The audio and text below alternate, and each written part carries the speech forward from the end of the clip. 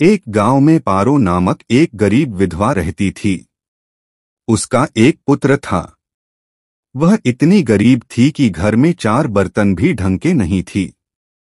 लड़का अभी छोटा था। पारो ने बड़े प्यार से उसका नाम नसीब सिंह रखा था। मगर वह इतना बदनसीब था कि उसके पैदा होने के कुछ समय बाद ही एक बीमारी से उसके पिता की मृत्यु हो गई। पारो घरों में चौका बर्तन आदि करके उसे पाल रही थी। उसे पक्का विश्वास था कि नसीब सिंह बड़ा होकर उसके सारे संकट दूर कर देगा और उसका बुढ़ापा चैन से गुजरेगा। इसी आस में रात दिन मेहनत करके वह अपने बेटे को पाल रही थी। नसीब सिंह था तो छोटा, किंतु समझदार बहुत था। संयम और धीरज की उसमें कमी न थी। किसी भी बात को गहराई तक जानने की उसमें प्रबल उत्सुकता रहती थी। एक दिन उसने अपनी माँ से पूछा, माँ, हम इतने गरीब क्यों हैं? यह सब तो ईश्वर की मर्ज़ी है, बेटे। दुखी स्वर में पारो ने कहा, सब नसीब की बात है। मगर नसीब सिंह यह उत्तर पाकर संतुष्ट नहीं हुआ। वह बोला, ईश्वर की ऐसी मर्ज़ी क्यों है? बेटा, यह तो ईश्वर ही जाने। अगर ईश्वर ही जाने तो ठीक है। मैं ईश्वर से ही पूछूँगा कि हम इतने गरीब क्यों हैं। बताओ माँ, बताओ कि ईश्वर कहाँ मिलेगा। पारो तो वैसे ही परेशान रहती थी। अत उसकी बातों से उकताकर उसने कह दिया, वह जंगलों में रहता है, लेकिन तुम वहाँ न जाना। लेकिन नसीब सिंह ने दिल ही दिल में उसी क्षण इरादा बना लिया कि वह ईश्वर को ढूंढेगा और पूछेगा कि आखिर हम इतने गरीब क्यों हैं। एक दिन वह जंगल की ओर चल दिया। जंगल घना और भयानक था। चलते चलते नसीब सिंह बुरी तरह थक गया, मगर भगवान की परछाई भी उसे दिखाई नहीं दी। अत वह थकहार कर पत्थर की एक शिला पर जा बैठा और सोचने लगा कि भगवान तो यहाँ कहीं नहीं है। आखिर गरीबी दूर कैसे हो? तभी संयोग वश मृत्यु लोक का भ्रमण करते करते शिव पार्वती उधर ही आ निकले। उन्होंने बच्चे को वहाँ बैठे देखा तो उन्हें बड़ा अचरज हुआ कि यह अबोध बालक इस बिहड़ जंगल में बैठा क्या कर रहा है। भगवान शिव ने बालक से पूछा तुम कौन हो बालक और इस जंगल में बैठे क्या कर रहे हो? मैं ईश्वर को ढूंढ रहा हूँ। ईश्वर को? पार्वती चौंकी और पूछा, मगर क्यों? ईश्वर से तुम्हें क्या काम है? मैं उनसे पूछना चाहता हूँ कि हम इतने गरीब क्यों हैं? दूसरों की तरह हम पर भी भाग्य की कृपा क्यों नहीं है? निर्भीक सिंह ने निर्भीकता से उत्तर दिया।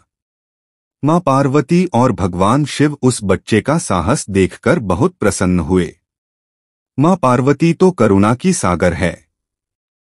उन्हें उस बच्चे पर बड़ी दया आई और भगवान शिव से मुखातिब होकर बोली, प्रभु, इस बालक का कुछ कीजिए।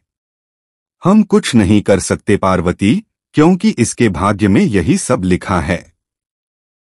भाग्य देवता के लेख के अनुसार इसे ऐसा ही जीवन भोगना है। नहीं नहीं स्वामी, आपको कुछ करना ही होगा। माँ पार्वती हट करने लगी। जिद न करो पार्वती। यदि हम उसे कुछ दे भी देंगे तो वह इसके पास नहीं रुकेगा। इसे वैसा ही जीवन जीने दो जैसा भाग्यदेव चाहते हैं। नहीं प्रभु, इसकी गरीबी दूर करने के लिए आपको इस पर कृपा करनी होगी। जब माँ पार्वती जिद करने लगी तो भगवान भोले शंकर ने बच्चे को एक हार दे दिया। हार पाकर नसीब सिंह बहुत प्रसन्न हुआ और खुशी खुशी अपने घर को चल दिया। माँ पार्वती संतुष्ट थी कि उन्होंने एक अबोध बालक की मदद की और अब उसके दिन सुख से कटेंगे, लेकिन त्रिकालदर्शी भोले बाबा जानते थे कि यह हार उसके पास रहेगा ही नहीं। चलते चलते नसीब सिंह के पेट में अचानक दर्द उठा और वह शौच के लिए इधर उधर देखने लगा। उसने भगवान शिव का दिया हार पत्थर की एक शिला पर रख दिया और झाड़ियों के पीछे चला गया। तभी एक चील कहीं से उड़ती हुई आई और उस हार को उठाकर उड़ गई। अरे, मेरा हार। सब कुछ भूलकर लड़का चील के पीछे भागा। मगर कब तक वह चील का पीछा करता? कैसे पकड़ता उसे? एकाध बार पत्थर उठाकर उसने चील को मारने की कोशिश की, किंतु चील अधिक ऊंचाई पर थी। कुछ ही पलों में चील उसकी नज़रों से ओझल हो गई तो वह बड़ा दुखी हुआ और रोते रोते अपने घर की ओर चल दिया। घर पहुंचकर उसने माँ को सारी बात बताई, मगर पारो को उसकी बात पर बिल्कुल भी विश्वास नहीं हुआ। हाँ उसकी बात सुनकर थोड़ी सी उदास अवश्य हो गई। लेकिन नसीब सिंह माँ की उदासीनता देखकर हतोत्साहित नहीं हुआ। उसने मन ही मन निर्णय लिया कि वह कल फिर वहीं जाएगा और भगवान शिव पार्वती को अपनी विपदा सुनाएगा। उसका विश्वास था कि भगवान शिव उस धूर्त चील को अवश्य ही दंड देंगे। भगवान शिव ने पार्वती से कहा, देखो, उसके पास कल वाला हार नहीं रहा। उसे एक चील ले उड़ी है। और दूसरा हार पाने व उस चील को दंड दिलवाने की इच्छा लिए वह लड़का आज फिर आया है। पार्वती देवी ने फिर भगवान शिव से प्रार्थना की, आप चाहे चील को दंड दें या न दें, किंतु इस लड़के की सहायता करके इसकी निर्धनता दूर करें। हम अब कुछ नहीं कर सकते देवी। यदि तुम जिद करती हो तो हम ब्रह्मा से कहते हैं, वही इस बालक की कुछ सहायता करेंगे। कहकर भगवान शिव ने ब्रह्मा जी को बुलाया और सारी बात बताकर आग्रह किया कि आप ही इसकी कुछ मदद करें। तब ब्रह्मा जी ने लड़के को हीरे की एक अंगूठी दे दी। लड़के ने अंगूठी जेब में रखी और खुशी खुशी अपने घर चल दिया। उसने सोच लिया था कि वह अब एक पल के लिए भी अंगूठी को अपने से अलग नहीं करेगा। चलते चलते अचानक उसे प्यास लगी। वह सरोवर के किनारे पहुँचा और जैसे ही वह चुल्लू भरकर पानी पीने के लिए झुका, वैसे ही उसकी जेब से अंगूठी निकलकर पानी में जा गिरी और इससे पहले कि वह उठाता, एक मछली उसे निगल गई। नसीब सिंह फिर रोते रोते घर आया और माँ को सारी बात बताई। बेटा, जब तक भाग्य में नहीं है तब तक कोई भी चीज़ नहीं रुकेगी। माँ ने उसे दिलासा देते हुए कहा, जब भाग्य देवता खुश होंगे तो मिट्टी भी सोना बन जाएगी, मगर इस प्रकार किसी के देने से हमारी गरीबी दूर नहीं होगी। उसे समझाकर माँ अपने काम में लग गई। मगर नसीब सिंह भी हार मानने वाला नहीं था। उसने मन ही मन सोच लिया था कि वह कल फिर जाएगा। तीसरे दिन वह फिर जा पहुँचा। शिव और पार्वती उसका यह साहस देखकर बहुत खुश हुए। शिव जी ने इस बार ब्रह्मा जी के पास जाकर बात की कि वह लड़का तो बड़ा साहसी है। इसका कुछ उद्धार किया जाना चाहिए। तब ब्रह्मा जी ने सलाह दी कि हमें भगवान श्री हरि के पास जाना चाहिए। वही इसका कोई हल बताएँगे। अत वह श्री हरि के पास जा पहुँचे। पूरी बात सुनकर भगवान विष्णु ने नसीब सिंह को कुछ हीरे दिए।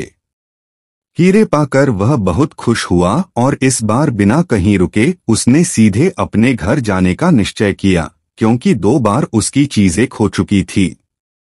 जब वह घर पहुँचा, माँ घर पर नहीं थी। अत नसीब सिंह ने हीरे एक लोटे में रखकर कोने में छिपा दिए और माँ को ढूँढने निकल पड़ा। वह मन ही मन सोचने लगा कि अब माँ को किसी के घर काम करने की क्या आवश्यकता है। अब तो वह भी अमीर बन गए हैं। उधर पीछे से चोर उसके घर में घुसे और जो भी सामान हाथ लगा लेकर भाग निकले। उस सामान में लोटा भी था, जिसमें हीरे रखे थे। जब वह माँ के साथ वापस आया तो देखा कि हीरे गायब थे। इतना ही नहीं, घर का दूसरा सामान भी गायब था। अब तो उसकी माँ को बहुत गुस्सा आया। वह बोली, क्यों मुझे नई नई कहानियाँ सुनाकर पागल बनाता जा रहा है? सारा दिन आवारा की तरह इधर उधर भटकता रहता है और शाम को पिटाई के डर से कोई नई कहानी सुना देता है। माँ की डांट सुनकर लड़का रोने लगा। वह तो केवल वही जानता था कि जो कुछ भी उसने बताया था, वह सत्य था।